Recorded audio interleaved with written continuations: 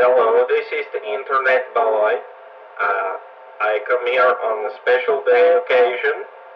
Uh, 2,000 years ago from today, pilgrims uh, rode in one bicycle boat to bring a fowl to the land of the Americas. Uh, on this boat, they had turkey uh, preserved with salt, and they brought it to the Aztec ruins where they summoned the giant turkey god Thanksgiving and had a meal.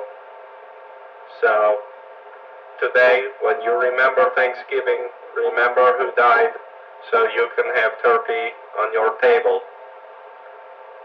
This is a good holiday. I think America should have more like it. So, you know, uh, have a good uh, turkey Thanksgiving Day.